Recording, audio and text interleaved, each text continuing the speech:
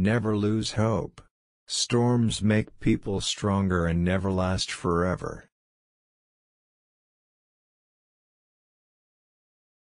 Do not fear failure but rather fear not trying.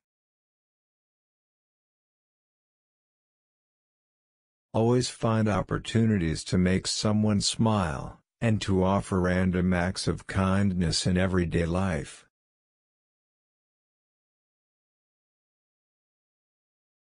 Do you want to know who you are? Don't ask. Act.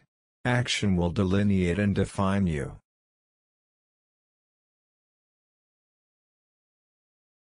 What you do makes a difference, and you have to decide what kind of difference you want to make.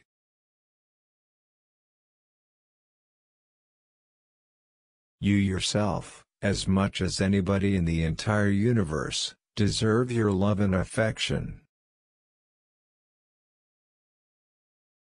Love is the absence of judgment. Time doesn't heal emotional pain, you need to learn how to let go. Cry. Forgive. Learn. Move on. Let your tears water the seeds of your future happiness. To shine your brightest light is to be who you truly are.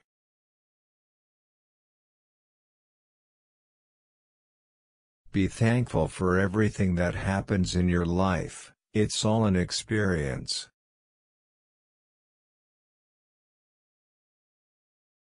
Sometimes you have to lose all you have to find out who you truly are.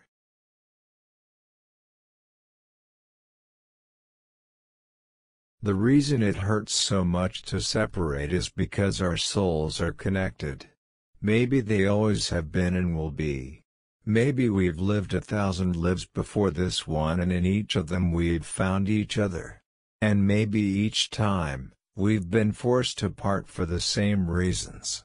That means that this goodbye is both a goodbye for the past 10,000 years and a prelude to what will come.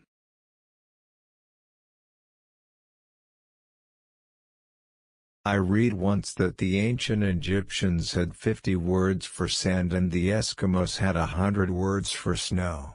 I wish I had a thousand words for love. But all that comes to mind is the way you move against me while you sleep and there are no words for that.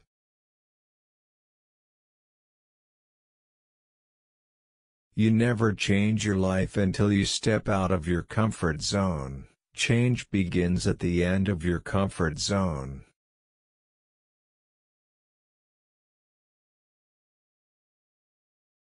Do not let the memories of your past limit the potential of your future. There are no limits to what you can achieve on your journey through life, except in your mind.